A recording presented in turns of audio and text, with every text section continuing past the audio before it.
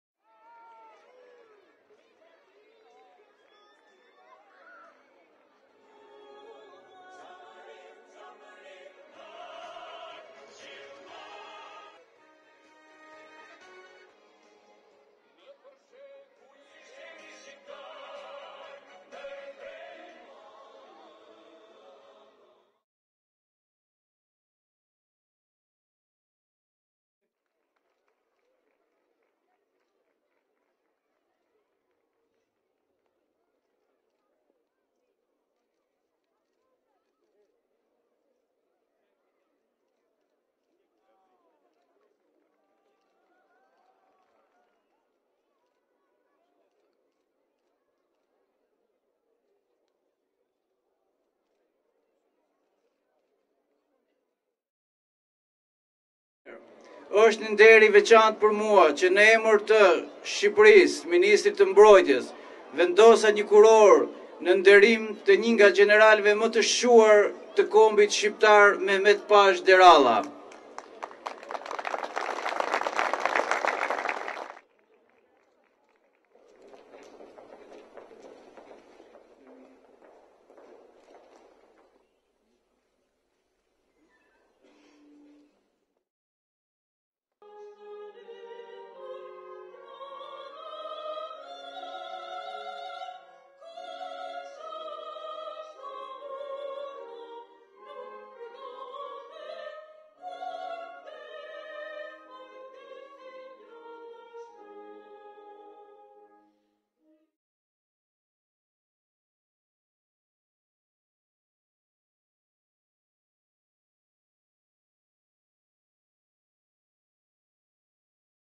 Para dy vjetësh, në 98 vjetorin e themelimit të ushtrisë kombëtare shqiptare, që është bërë në 4 dhjetor të vitit 1912 me emërimin e gjeneral Derallës si ministër i luftës, Medalja e parë që unë kam dhënë si Ministër i Mbrojtjes së Republikës së Shqipërisë ka qenë pikërisht për Mehmet Pashë Derallën.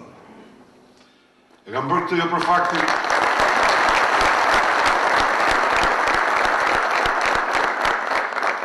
jo vetëm për faktin e qartë, të dukshëm, por të thjeshtë se ai ishte ministri i parë i mbrojtjes i Shqipërisë, por për shkak të kontributeve të tij të pamata për çështjen kombëtare. Kontributet e Mehmet Pashë Derallës nuk lidhen thjesht dhe vetëm me pozicionin e tij si ministër i luftës, sepse e gjithë jeta e tij është luftë e përpjekje për një Shqipëri të lirë, të pavarur e sovrane. Ne si shqiptarë Ashtu si edhe çdo komb, kemi detyrim t'i kujtojmë, t'i nderojmë, t'u jemi thellësisht mirënjohës dhe t'u njohim atë vend që ata e kanë marrë me meritë në historinë e kombit tonë, heronjtë tanë, dëshmorët tanë. Është e pafalshme që personalitete të këtij niveli të gëzojnë një njohje periferike dhe mbas nëntëdhjetë e tetë vjetësh ministri i Mbrojtjes së Republikës së Shqipërisë kujtohet për të dhënë medaljen e parë për ministrin e parë të luftës së Shqipërisë. Dhe kjo për shkak të një historie të shkruar mbi baza ideologjike. E vërteta është që një regjim në thelb mediokër la në harresë ata që qëndrojnë sot e gjithë ditën në themelet e Shqipërisë së pavarur. Dhe rivlerësimi i figurës Mehmet Pashë Derallës, si në pikëpamje historike, ashtu edhe në pikëpamje politike, është fakt, në fakt, njohje e kontributeve të mëdha që ai dhe shumë të tjerë dhanë për pavarësinë e Shqipërisë dhe hedhjen e bazave për ndërtimin e shtetit modern shqiptar. Jeta dhe vepra e Mehmet Pashë Drallës është ajo e një personaliteti të shquar të kombit tonë, me të cilin ne të gjithë mund të krenohemi. Ai ishte pjesëmarrës në të gjitha ngjarjet kulmore të historisë shqiptare që paraprinë pavarësinë dhe kulmuan me pavarësinë dhe hedhjen e themeleve të shtetit tonë modern. Historia e Mehmet Drallës është historia e një djali trim dhe inteligjent shqiptar që diplomohet me rezultate të shkëlqyera në Akademinë Ushtarake të Stambollit e që me mençuri, këmbëngulje, seriozitet, aftësi arriti të merrte gradën e gjeneralit që në moshën tridhjetë e pesë vjeçare. Me një personalitet të realizuar pra që në moshë të re e me një karrierë të shkëlqyer politike dhe ushtarake, ai shkëlqeu në të gjitha pozicionet e larta drejtuese që mbajti në krye të Xhandarmërisë Osmane në disa vende të Lindjes së Afërme e po ashtu edhe në drejtimin e komandave ushtarake në Selanik, Shkup e Prizren.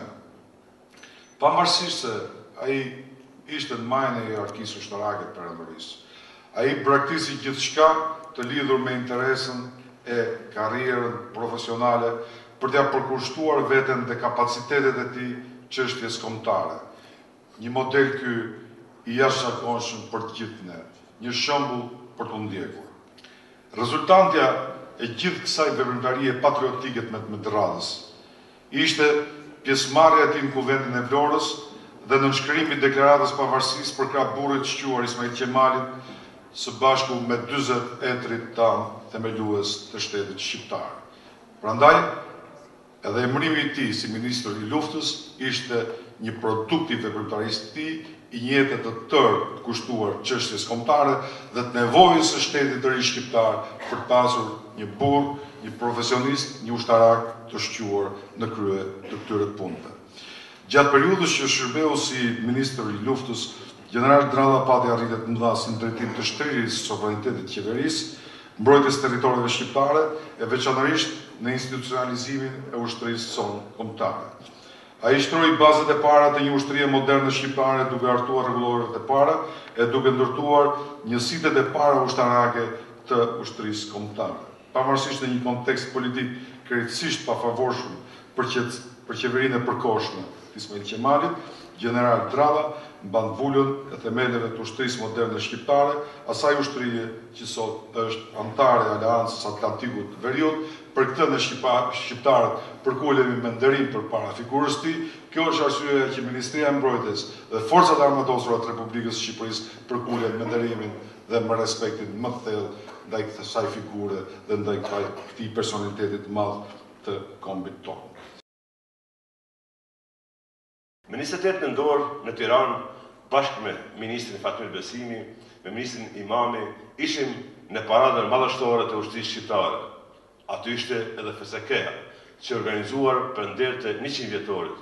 Kjo paradë na fali emocione të papërshkrueshme. Ajo pamje impresionuese ishte dëshmia më e mirë se sa shumë përparime kanë bërë shqiptarët dhe ushtritë e tyre në këto njëqind vjet. Dhe kjo e arritur do të ishte e pamundur pa kontributin e gjeneralëve të mëdhenj si Isa Boletini e Mehmet Pashë Dërralla, të cilët vunë themelet e ushtrisë sonë moderne. Është mjaft domethënëse që në këtë sallë jemi tre ministra shqiptarë, tre ministra të Mbrojtjes, të Shqipërisë, të Kosovës dhe të Maqedonisë. Kjo flet shumë. Kjo flet shumë për të sotmen, por dhe të ardhmen dhe dëshmon se angazhimi ynë dhe i shteteve tona për prosperitetin dhe sigurinë e rajonit është i pakthyeshëm. Dhe kjo është sfida të cilën ne kemi kaluar për këto 100 vjet, ne si shqiptarë në këtë rajon. Sfida që të njohim veten, sfida që të njohim vlerat, sfida që të dimë kush jemi dhe si të veprojmë. Dhe me plot kënaqësi sot në këtë 100 vjetor kur ne shënojmë këtu Një akademi përkujtimore për një personalitet kaq të shquar për kombin shqiptar, dhe me një krenari të madhe ndaj faktin që jam bashkëqytetar i Mehmet Pashë Dërrallës, ministër i Mbrojtjes nga tokat për të cilat dhe të drejtat për të cilat ai luftoi. Ne do ta nderojmë edhe në të ardhmen si pjesë e institucioneve të Qeverisë dhe Parlamentit të Republikës së Maqedonisë, duke ngritur shtëpinë muze këtu në Tetovë, që qytetarët e Tetovës të dinë për ministrin e parë të luftës të qeverisë së Ismail Qemalit, shtëpinë muze për Mehmet Pashë Dërrallën.